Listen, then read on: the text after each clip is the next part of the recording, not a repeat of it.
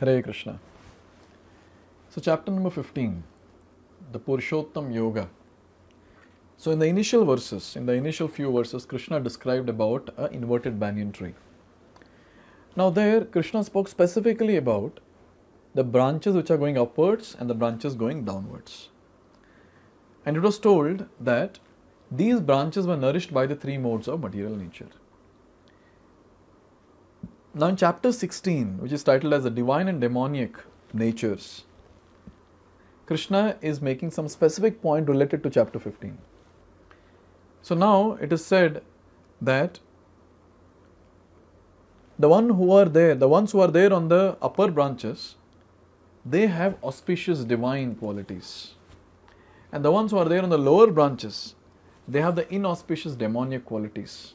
Hmm. Now, what are these different qualities? How is it auspicious? How is it divine?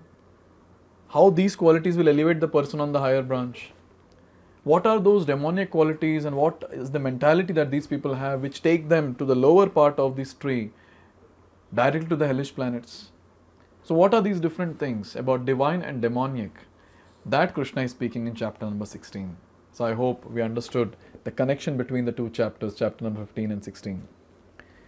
Now, in the first three verses of chapter 16, Krishna is describing the auspicious qualities which will help the person to go up the tree to the divine forms. So, what we'll try to do is we'll try to take these verses separately in three different videos and try to go deeper in each quality so that we can also imbibe these qualities in ourselves. So, in this video, let's see shloka number 1 of chapter 16. श्रीभगवानुवाच अभयं सत्त्वसंशुद्धे ज्ञानयोगाव्यवस्थितिः दानं दमश्च यज्ञश्च स्वाध्यायस्तप आर्जवम् So this is the first verse and it gives amazing qualities amazing auspicious qualities. Let's let's see them. First one is abhayam, fearlessness. Second, sattva sham, samshuddher, that is purification of one's existence. Jnana yoga vyavasthitihi, that is cultivation of spiritual knowledge. Danam, charity. Damaha, that is self control or sense control. Yajna, sacrifices, or basically doing sacrifices, performing sacrifices. Swadhyaya, Swadhyaya means study of the Vedic scriptures. Tapa, austerities. And Arjavam, simplicity. So these are different qualities which Krishna has given here. Now it's very nice to know that depending on Varna and Ashrama, these qualities are given. So when it comes to the Varnas, we have the four Varnas that is Brahmana, Kshatriya, Vaishya, and Shudra. We have four ashramas Brahmachari, Grahastha, Vanaprastha, and Sannyasi. Now, what Krishna is doing here is he's helping us to understand what are the auspicious qualities in these different Varnas and ashramas. So, let's begin. Now, we, as, as we know, in the Varnashrama institution, the four Varnas and four ashramas, obviously the Brahmanas who are there, the ones who are really Brahmanas by Guna and Karma, by the qualities and their activities, they're, they're leading the society. Below the Brahmanas, we have the Kshatriyas, then the Vaishyas, and the Shudras. But then the leader of the entire society is a sannyasi. He is the one who is renounced and at the same time very qualified to lead the society by giving instructions. So, like, what are the qualities of a sannyasi then? Krishna starts with the quality of a sannyasi. And the first one is abhayam, fearlessness. So here it is said the first qualification of a sannyasi should be fearlessness. Why? Why is it so? Because a sannyasi has to be alone without any support or guarantee of support. He has simply to depend on the mercy of Supreme Personality of Godhead. So, sannyasi is a, a renounced person has to go around to different places and he's supposed to preach the knowledge of Krishna consciousness. So, when he's going from one place to another, there is no guarantee of his protection, there is no guarantee of his sustenance. So, he should be fearless, completely fearless about what is going to happen to himself or to be more specific to his body. Hmm. And here it is said, one must be fully convinced that Krishna or the Supreme Personality of Godhead in his localized aspect as Paramatma is always within. That he is seeing everything and he always knows what one intends to do. So obviously a sannyasi should have this realization, but along with that, all of us can also have this realization. Doesn't matter which varna or which ashrama we belong to. All of us should know this one important thing. Krishna is there in our heart. Supreme Personality of Godhead is there in our heart. So where is the question of fear? He's always there. Maybe our near and dear ones will leave us one or the other time in our life, but then Paramatma will never leave us. He travels with us from one play, one body to another, to another, to another, from time immemorial. So why fear? When Lord is there, then why fear? It's a very, very important realization that all of us should get. Here it is said, now, what should be the thought process of a sannyasi? Even if I live in the darkest regions of a forest, I shall, I shall be accompanied by Krishna and he will give me all protection. That conviction is called abhayam, fearlessness. It doesn't matter where I am, where am I, even the darkest of the region, darkest of the forest, but then Krishna is there with me. So there's no question of fear. Hmm? As we always say, why worry in presence of Hari? the second quality is purification. To be more precise, purification of one's existence. So, here it is said that one has to follow the rules and regulations of a particular status of life in order to purify his existence. For a sannyasi, intimate relations with women and possession of wealth for sense gratification are strictly forbidden. So, this is the thing that a sannyasi should do. So, sannyasi maintains his purity by not associating with two important elements of this world that is the opposite gender and the wealth. And along with that, a person is attached to this opposite gender and wealth. So, in this way, we understand a sannyasi maintains that purity by doing this, by keeping safe distance from wealth and female. The next quality of a sannyasi given is jnana yoga vyavasthitihi. He is engaged in cultivation of knowledge. Sannyasi life is meant for distributing knowledge to the householders and others who have forgotten their real life of spiritual advancement.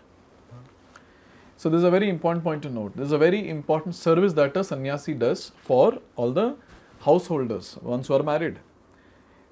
So, sannyasi will go door to door begging. Now, he is not in need of anything.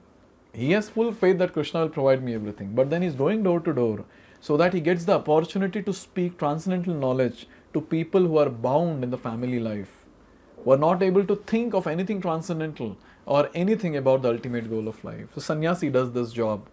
And for that, he makes sure that he cultivates knowledge by doing his sadhana. Finally, it is said to, ma- to summarize about the sannyasi qualities that even if one, one has accepted the renounced order of life without sufficient knowledge, he should engage himself fully in hearing from a bona fide spiritual master to cultivate knowledge. A sannyasi or one in the renounced order of life must be situated in first abhayam, fearlessness, sattva shamshuddhi, purity, and jnana yoga vyavasthitihi, knowledge. After speaking about a sannyasi, now Krishna is speaking about the grihasthas, the householders. So, what qualities they should have? The first one is dana or charity. Here it is said Householder should earn a livelihood by an honorable means and spend 50% of their income to propagate Krishna consciousness all over the world. Charity in the mode of goodness is recommended by scriptures. But charity in modes of passion and ignorance is not recommended because it is simply waste of money. So this is what is the dharma or the quality that a grihastha should have, should follow. That is, one should give charity because they are the only members in the entire society, in the entire Varnashrama, who earn, who earn their livelihood. Whereas when it comes to Brahmachari, Vanaprastha, and Sannyasi, they don't earn. So grahasthas or householders they maintain the other personalities in the society. So it's very important to give charity because when a person is earning money, he becomes attached to that money, the hard earned money. But when he parts away with the hard earned money for a very good cause, for spreading Krishna consciousness, what happens? Slowly and steadily the, the detachment comes. And with that detachment only he can advance in spiritual life. So one should give charity. According to Shastra, 50% of one's salary should be given in charity. If if you're not come to that level, then at least some percentage we should start with and finally come you know, to the 50% of charity. You know, that should be given. Next one is self-control.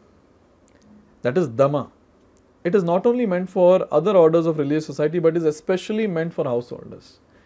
Sense control or self-control is very, very important. Why? Because when it comes to a householder, they have got financial independence, they have got time independence. They can decide whatever they want to do.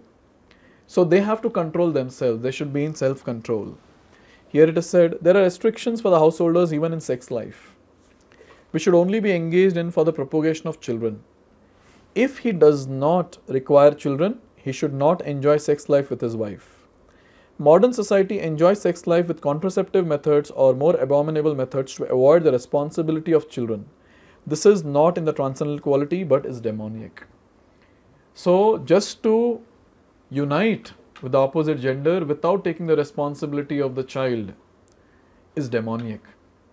Whereas, when the male and female unite with the consciousness to beget a Krishna conscious child, that is divine. And then here it is said, the third quality of a householder.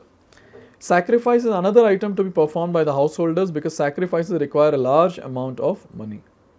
So, wherever the spending of money is involved, the Grahastha devotees are expected to do that. That is organizing the sacrifices.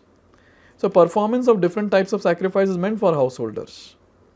But in the age of Kali, we need not perform those high, very costly sacrifices. But what can we do? We can perform the Sankirtan Yajna, that is the chanting of Hare Krishna, Hare Krishna, Krishna Krishna, Hare Hare, Hare Ram, Hare Ram, Ram Ram, Hare Hare. So the householders regularly they should invite various devotees to home and they should organize Sankirtan and they should feed prasadam to all the devotees who have come. So in this way, these three qualities of the householders charity, dana, dhamma, self control, and the third one that is mentioned is the sacrifice or yajna. So, when these things are done, that is very divine. That will help them to elevate towards the higher level or advance in spiritual life. And then two more, which we would like to see in this particular shloka is Swadhyay. Swadhyay means the study of scriptures. So one should study the brahmachari. So this is the quality for a brahmachari now. A brahmachari to do brahmachari should do swadhyaya in such a way that is so immersed in reading Vedic scriptures and uh, meditating on the points given in the Vedic scriptures that he has no time to meditate on the opposite gender or to associate with the opposite gender. So, this is a very important quality of a brahmachari. Now, after speaking about this, Krishna speaks about a vanaprasthi. So, a person in the retired life. So, what is he supposed to do? Here it is said. Tapa or austerity is specially meant for the retired life. One should not remain a householder throughout his whole life. So it's a very important point to note that if we have 100 years with us, then first 25 years one should remain a brahmachari.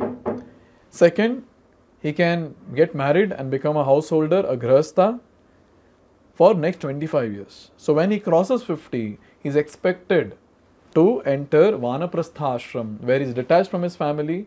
He and his wife will go for Tirtha Yatra. And at the age of 75, the person is expected to take sannyas. But the brahmachari who is there, he has an option to enter the married life or directly to jump to sannyas order. So they need not go sequentially you know, from uh, brahmachari ashram to grahastha to vanaprastha then sannyas.